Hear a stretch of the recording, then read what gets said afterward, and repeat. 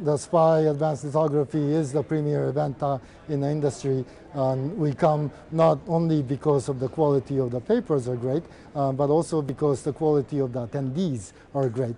And we, it, it is very important for us to be here to, um, to be able to meet those people and also to um, hear other people's great ideas. I've been coming to this conference for about 20 years.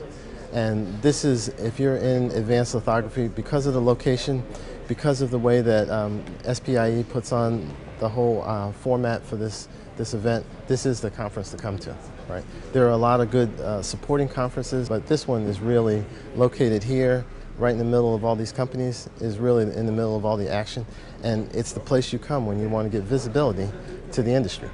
It is the place. This is the show.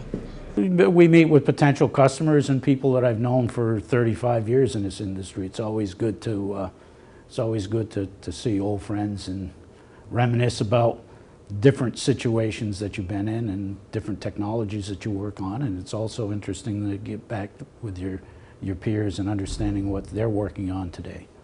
No, I think the general mood this year, as, as was last year, is that uh, people feel and that the industry is starting to turn around. It's a very positive mood. I think uh, this year uh, is, it's very remarkable that there's a lot of people again. I think there have been like two years with less uh, people coming to this meeting.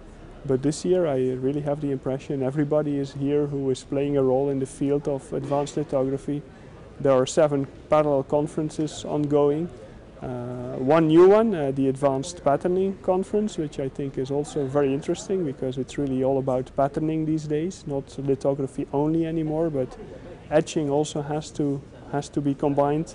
Uh, film deposition is important, so I think yeah, all the, the, the latest developments uh, that are being done in the world are being reported here this week.